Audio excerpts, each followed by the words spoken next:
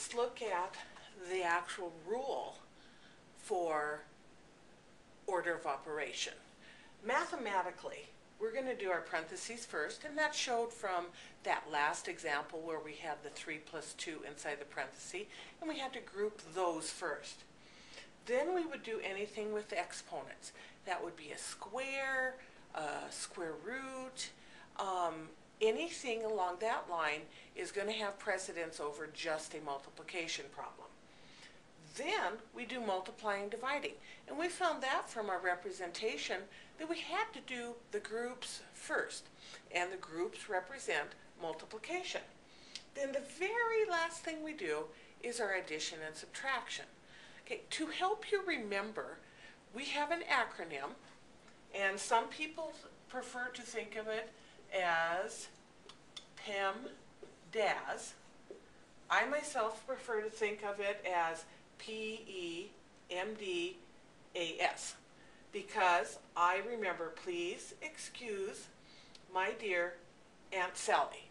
Now one thing that this does not tell you is when you have like only multiply and divide, you must always start from the left and work to your right. Likewise with the addition and subtraction. If you only have multiply or add and subtract, you again are going to work from your left, go to your right, just like you were reading a book. That's how we would do the math. Otherwise, you've got to do the please excuse my dear Aunt Sally or the PEMDAS, whichever you prefer to think of.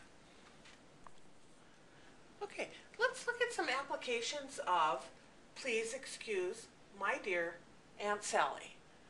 As I look at the first problem, 6 minus 2 times 2, I know that there are no parentheses, there are no exponents, there is a multiplier and divide. I have to do the 2 times 2 first. So what I've got now is 6 minus the 4, which is equal to 2. If you do not do the multiplication first, you're going to get a different answer.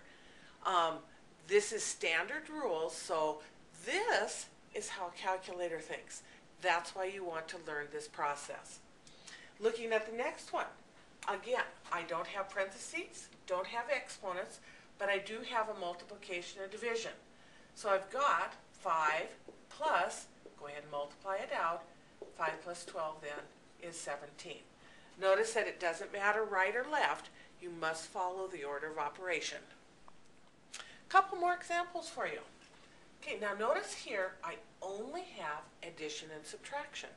And remember when you only have addition subtraction, you're going to do from left to right.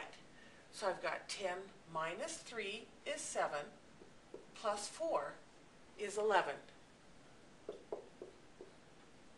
Okay, down at the bottom, oh I've got a bunch. I've got a division, an addition, and a division. So I'm going to have to do the divisions first. So 15 divided by 3 is 5. 4 divided by 2 is 2. And then I can come over and add the answers.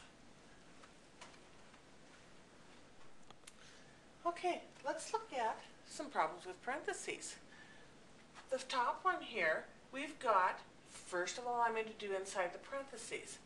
But inside the parentheses, I have two different operations. I have a division and I have an addition.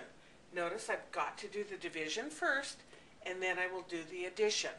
So I'm going to take this, 24 divided by 8 is 3, and then that is still inside my parentheses of the 3 plus 5, and then still will divide by 2.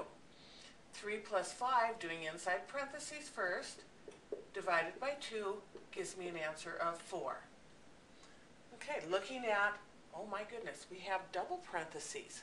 So the rule is we're going to start on the very inside first and work our way out. So that means I'm going to do this part first. So that means I'm going to have 12 minus this parenthesis still here. I've only done that one first, plus 6. I've got to do inside the parenthesis first, so I'm going to have 12 minus 11, which is 1.